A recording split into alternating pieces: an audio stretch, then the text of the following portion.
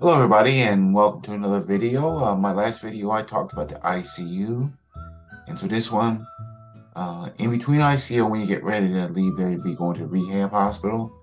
And so in my case, you know, I was ICU for a week, and so there's these little adjustments you have to get used to. Um, and so if you, you know, if you happen to have just had a stroke or your family member has, there's some things you'll have to get kind of adjust to, and that will just continue like on into the rehab hospital. So anyway, ICU, I was there a week. And starting on the second day, you start adjusting a little bit to the reality of what's happened.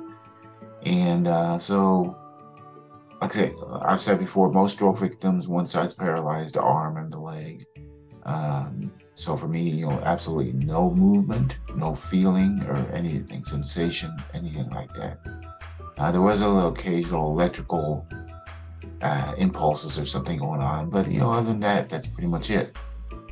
So one of the first adjustments is um, I call it your new best friend. They call it gait belt. A, Um, in ICU, you're not going to move around a, a, lot anyway. I mean, they may get you out of bed, but you know, wheelchair. Uh, to like to go to the bathroom maybe, or they'll use a bedpan with you, and that's the other adjustment. It's just bathroom. Um, in the book I'm writing, I mentioned about modesty. You know, some people are very modest and it might bother bother them with someone helping them go to the bathroom, but you know, that's where you're at, and uh, so that's one of the things you have to get used to.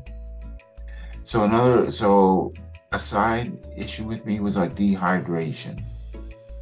I found myself drinking all the time, just drinking water, and that resulted in having to go to you know the bathroom break every couple hours. So that was another adjustment there.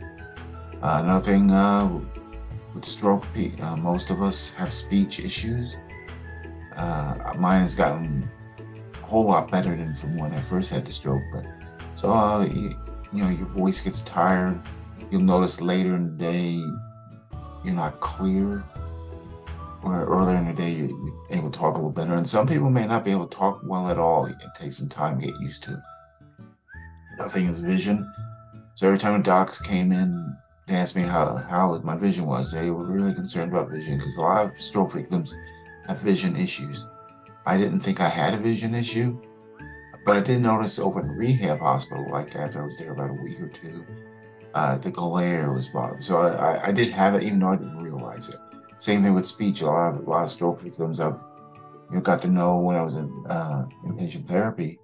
Uh, you don't know you have a speech problem. So sometimes you have these issues that you don't know you have. But you know, so that's another issue: the speech, the vision, and uh, chewing, which goes back to the speech thing because uh, you know, the you know, different nerves and muscles and stuff get affected with a stroke. So, uh, you know, you, you may have problem chewing, and you know, like for me, left side of my face uh, you know, most stroke victims, one side or the other, uh, the face, the numbness, or you can't tell, you can't feel.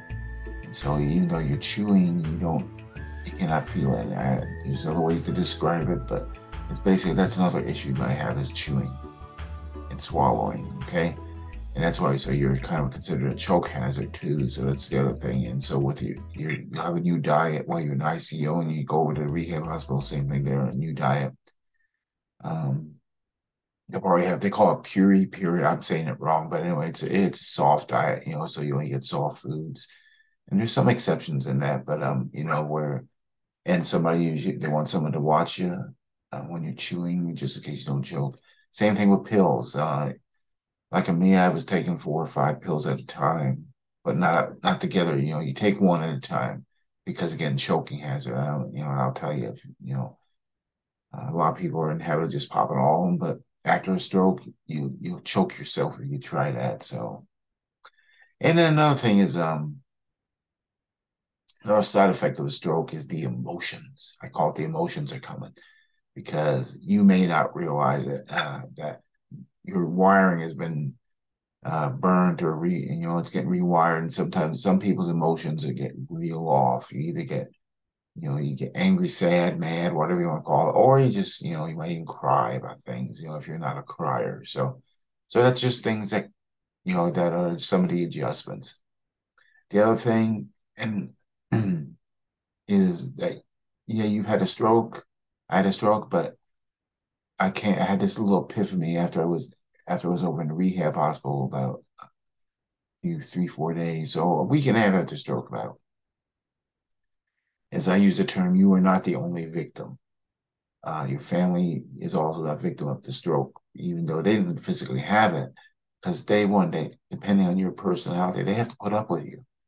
Uh, but also you've scared them to death. So like in my case with, my wife Debbie, you know, I, I, scared her to death. You know, it was a scary. Like in my previous videos, uh, videos I mentioned how you know the process there when she called the ambulance and everything. But it was for her it was very scary. And so again, family members are scared. You know, kids, fam- everybody who's involved with you. So uh, that's just something to keep in mind. That um, you know, remember your family members you know, are also uh, having some emotional issues over your situation. All right. These all these little things here in this video are just about adjustments. Now from here you head over to rehab hospital and you'll still have those adjustments. They're not going to go away. So, but anyway, so that's it for now. And until uh, next video, thank you for checking in.